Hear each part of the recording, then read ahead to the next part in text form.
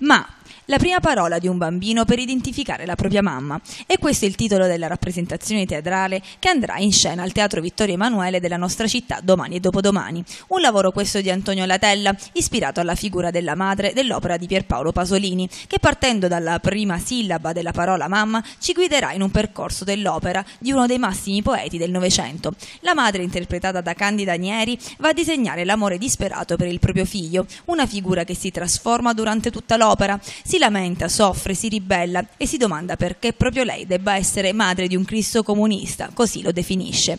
Curioso soprattutto anche il modo in cui la protagonista si trova in scena, sempre seduto in piedi che dall'inizio alla fine dello spettacolo sta con i piedi dentro due scarpe enormi. Causa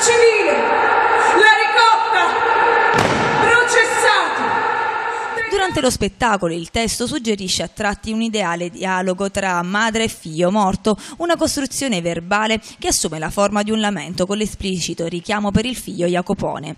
Una sofferenza che però non si limita al pianto, ma anche a un certo punto a sottolineare una protesta. Uno spettacolo questo che il regista Latella ha composto con un intrinseco motivo emozionale e sentimentale che dà vita a tutta l'opera e che ha registrato un grande successo in tutta l'Italia.